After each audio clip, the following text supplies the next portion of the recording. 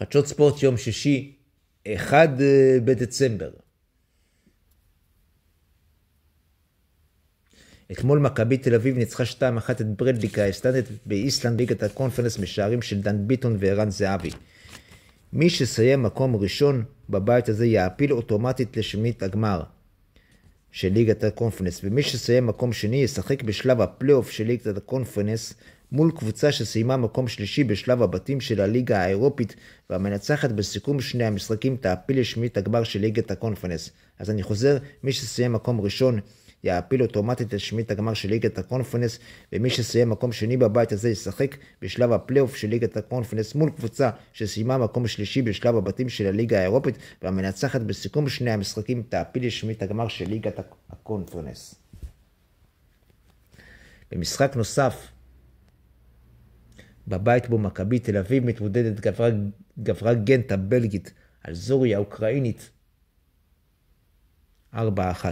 וזו טבלת הבית בו מכבי תל אביב מתמודדת.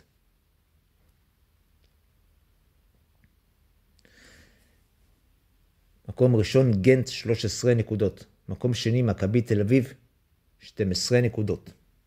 מקום שלישי זוריה האוקראינית 4 נקודות. זוריה האוקראינית הודחה מאירופה. מקום רביעי ברידבליק 0 נקודות.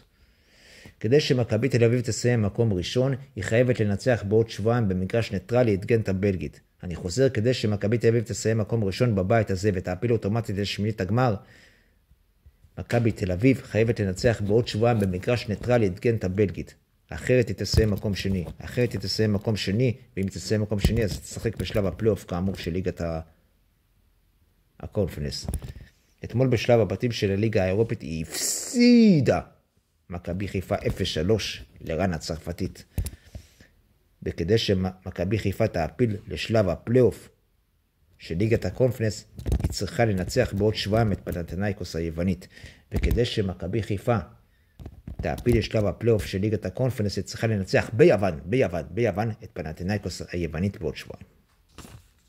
וזו טבלת הבית בו מכבי חיפה מתמודדת. במקום הראשון רן הצרפתית 12 נקודות. רן הצרפתית 12 נקודות, רן העפילה לשלב הבא בליגה האירופית. מקום שני ויאריאל 9 נקודות, ויאריאל העפילה לשלב הבא בליגה האירופית. מקום שלישי פנתנאיקוס 4 נקודות. מקום רביעי מכבי חיפה נקודה.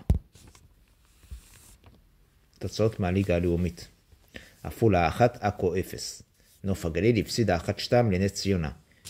יפו ומכבי הרצליה, אחת אחת נפרדו. איחוד בני שפרעם, שתיים אחת את אום אל-פחם ניצחה, וכפר קאסם הפסידה 0-1 לקריית שמונה. אתמול ביורוליג עברה מכבי תל אביב על אללה בברלין 102-81.